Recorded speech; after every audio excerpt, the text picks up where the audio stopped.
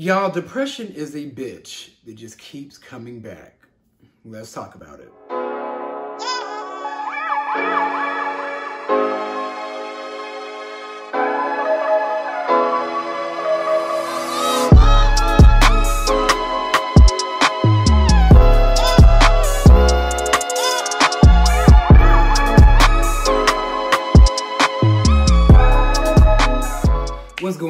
It's your boy Beasley here. Hope you all are staying cool, calm, and collected out there.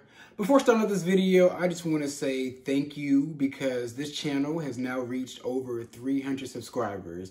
Y'all, that just means so much to me to the bottom of my heart. Like, you don't even know. Like, it is taking me very, very long to get to where I am today, believe it or not. Even though this may be a small platform, it's a growing platform, and I couldn't do without you guys.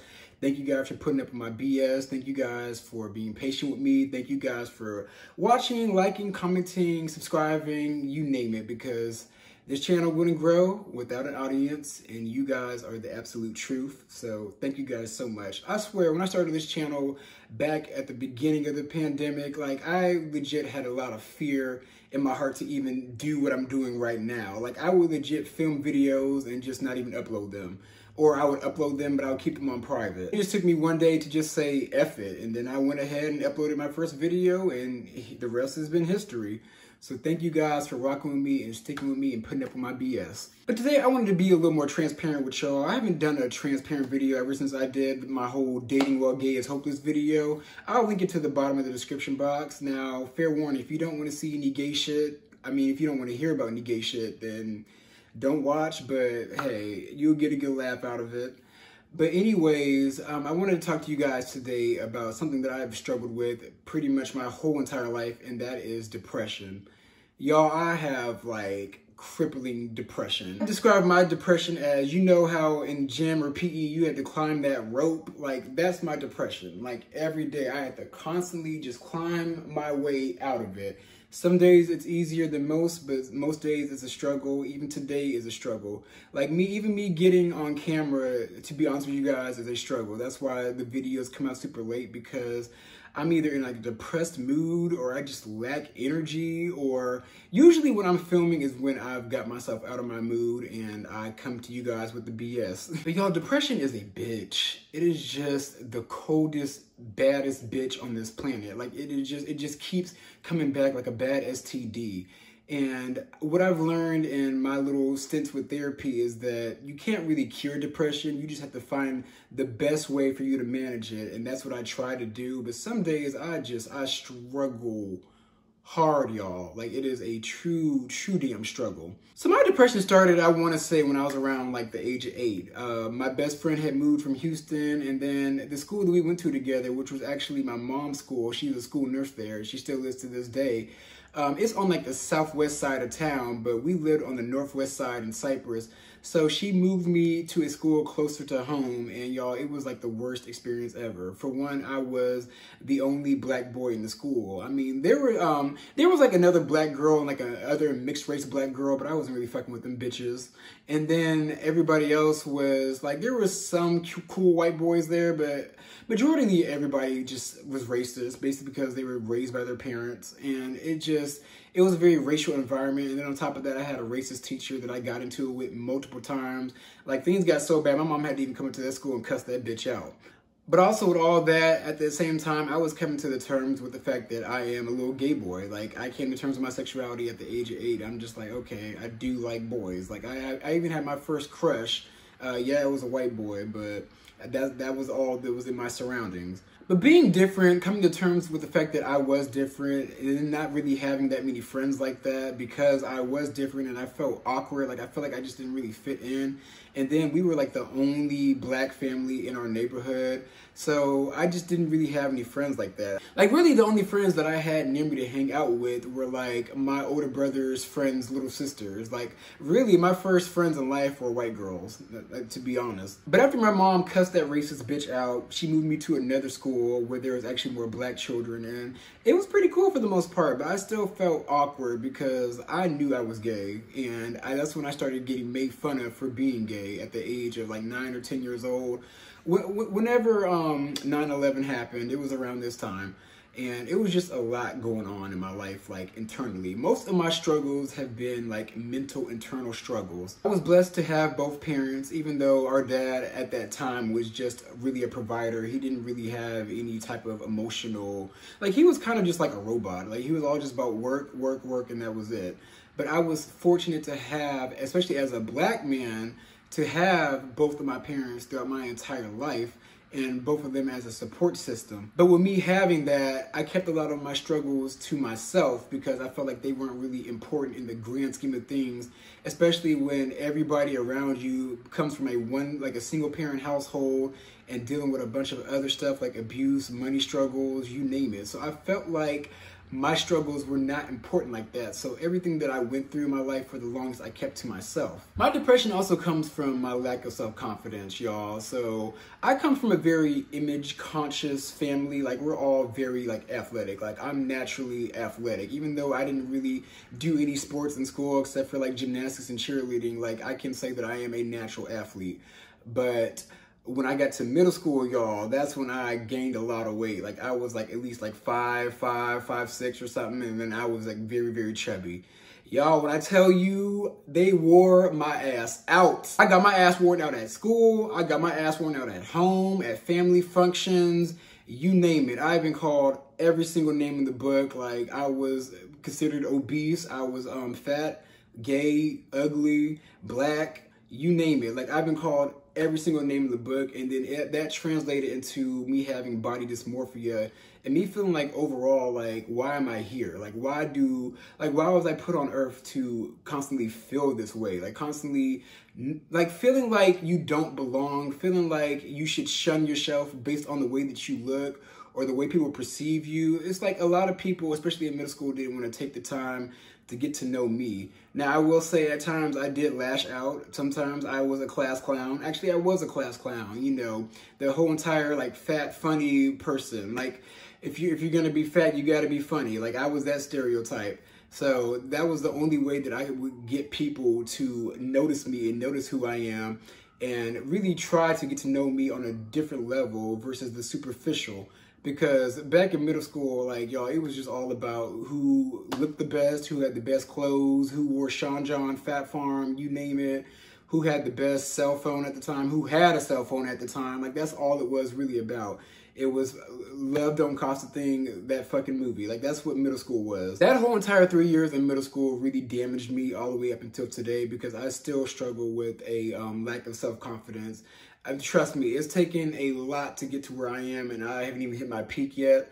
But I will say, like, I still struggle with really low confidence based on my past. Because y'all, even in college, like, I was bullied a lot. Like, I was looked down upon about my looks. And then no matter how many organizations I joined and how many people I tried to, um, kick it with, I just never, in college, and just never clicked with anybody.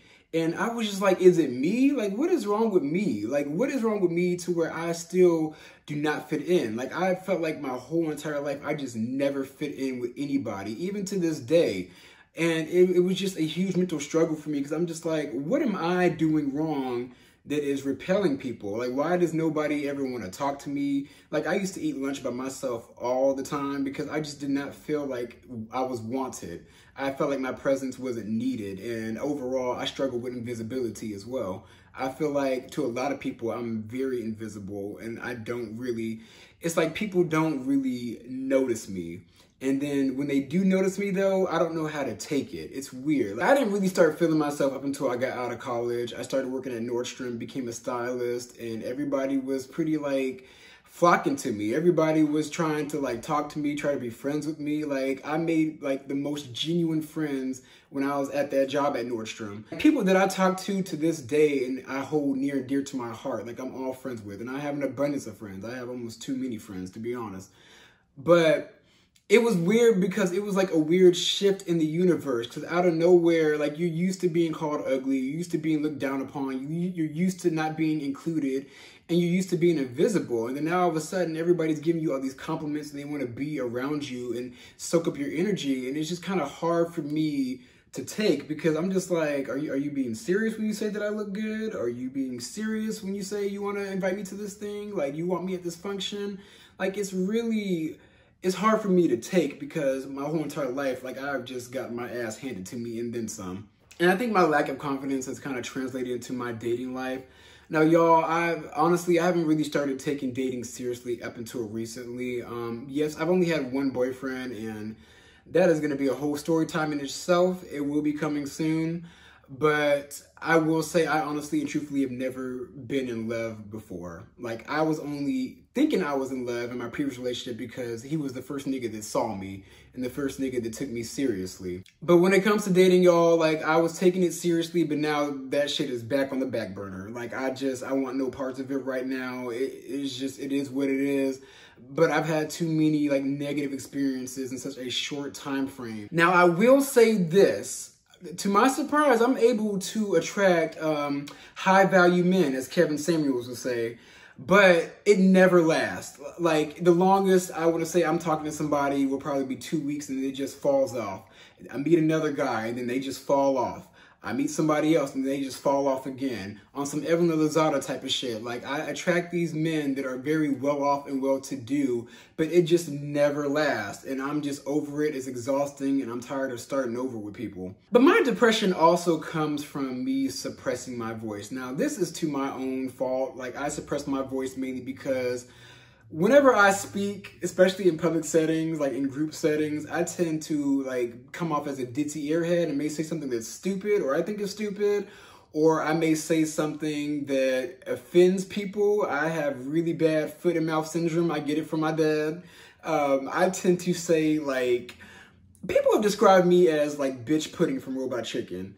Now, y'all, like, I, have been told that I'm a shady bitch. It, it, I, I tell you, it's not intentional at all. Like, I have a little bit of social awkwardness it's weird because I thrive in social settings sometimes, but sometimes I'm just very, very awkward. Sometimes I feel like I'm the dumbest in the room. Sometimes I don't say anything.